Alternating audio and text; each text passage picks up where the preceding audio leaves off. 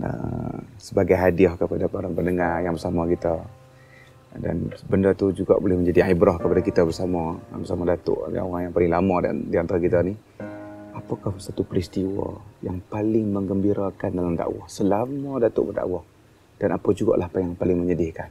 So benda tu menjadi kesan lah kepada saya rasa benda ni ramai orang nak tahu benda menyedihkan ni kalau kalau peristiwa lah peristiwa, peristiwa. Ha, yang paling terkesan. ada ada orang yang ni dia akan anak lalui banyak. Uh, tak Pilih tahu sesuai nak cerita tak tapi dah tanya kan. Kadang-kadang dalam dakwah ni sebelum tu ada benda yang yang Allah ni bagi kita gembira. Bukan kerana musibah orang tak tapi bukan kaitan orang tapi diri kita. Anda pernah menangis kepada satu orang. Dulu ada satu orang di ceramah. Dia panggil nama bapak setan. Bapak setan. Lepas pada tu bila dia panggil nama bapak setan mak ana tengok video tu mak ana sedih. Mak ana oh sampai ayah ana sedih. Bapak setan. Uh, cerita dia tu dia kata dengar nyanyi Nur Haliza lebih baik daripada dengar. Satu hari berlaku anda bukan kerana suka berlaku peristiwa dia berlaku satu peristiwa ni. Dalam peristiwa tu semua orang dipanggil dia ada internet bapak setan. Hmm. ada hamba Allah. Ni buat ni cerita. Mungkin ya, ya. bukan kita betul atau salah. Ya, tapi Allah kadang-kadang mungkin dipujuk kita. Ya. sabarlah. Pasal kena tu kan ada orang dia pusing Malaysia ni tawah angkat gambar anak kata anak ni semua neri tak dia tak diterima kemudian berlaku peristiwa pada dia. Dia semua neri tak boleh dia siap cakap. Artinya kadang-kadang Allah pujuk dan banyak. Di dalam kesedihan ada, tu? ada peristiwa yang mana anda tahu ramai orang berhimpun tokoh-tokoh untuk nak lawan anda anda pernah kena anda peristiwa anda kena tangkap dengan eh, tempat tahun tu taklah jadi sangat. Sampai peristiwa tu berlaku dakwah tu berkembang kerana tu. Hmm. uh, tapi kalau tanya anda saat apa yang mengembirakan sekali? Sebenarnya mungkin dah anda pun dah meningkat lah umur banyak.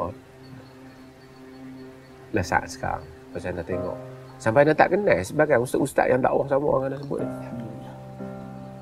Ramai sangat. Orang tanya siapa? Ni ustaz ni dia nak oh, kita lah bukan orang lain tu tak sunnah bahasa kita kan. Iyalah. Orang kita ramai. Yang tokoh-tokoh ni nak kena artinya ramai. Senarai kita tu pun punya ramai. Yang main jumpa artinya pada hari pernah kadang-kadang kita, kita dulu Ya Allah, adakah kau tinggalkan aku bersendirian? Kau tinggal aku bersendirian. Doa Nabi tu Eh, yang riwayat uh, Ibn Ishaq daripada masalah Musa. Jadi, jadi kita ulangi walaupun kita tahu kita tak layak. Allahumma inni ashku ilaika dha'fa quwwati wa qillata hilyati wa hawani 'ala nas. Ya arhamar rahimin, anta rabbul mustada'afin wa anta rabbi. Ya Allah, kan aku mengadu padamu lemahnya kekuatanku. Sedikitnya hilangku dan hinanya aku ni di kalangan manusia. Wahai Tuhan, orang-orang yang kena tindas. Engkaulah Tuhanku. Kan? Benda tu kita bila doa kita rasa bukan kerana kita macam Nabi tapi kita tak ada apa dah nak kata. Hmm. Tapi hari ni buka ni Dr. Ruzani ceramah. Buka ni Dr. Milan ceramah. Buka ni Dr. Basri ceramah. Ramai orang. Dia pembuat senarai tuduh orang Wahabi tu sampai berapa ratus orang. Lagi banyak walaupun lagi banyak masih lagi. duduk di top lagi banyak lagi semua nak kita punya lah banyak manusia. Oh, tapi dalam senarai tu ada yang nama apa Alif Syukri. Ada? Eh? Ya. Yeah. masuknya. Punya ramai ha, masuk. Allah dah ringankan. Allah dah ringankan. Banyaklah peristiwa-peristiwa kadang-kadang. Banyak juga ada doa orang tu mari. Yang dulu menentang. Jumpa anak. Minta maaf. Tapi tak Cuma anak, nak tutup benda ni Pasal mohon ampun ke Allah macam kita boleh cakap dengan diri kita. Anda cubalah nak lawan ni se- semungkin mungkin orang siapa yang tengok video dah tu semu, semampu mungkin nak elakkan talking about myself. Sebab kan sebab pasal kita tahu lah kita kita nobody lah di sisi Allah. Tapi kalaulah jalan yang telah kita buat ni yang benar ada yang kebaikannya mungkin boleh dipelajari oleh orang kemudian. Kalau jalan yang kita buat ni ada yang salah. Dan mereka nyata di sisi kitab dan sunnah salah. Jangan ikut jalan. Ni. supaya dengan apa yang kita sebut ni kita berlepas diri di hadapan Allah nanti kita tak pernah kata orang hampa ikut setiap langkah kami. Ya. kami ni seperti hampa juga hamba-hamba Allah yang mencuba di jalan ini. Dengan kadar yang kami belajar kami telah mengukakan dalil-dalil kitab dan sunnah dengan sandaran-sandaran. Jika ternyata satu hari nanti kalau Imam Syafi'i kata hal yang sama kita jauh lebih aula untuk Ya. menyebut benda yang sama.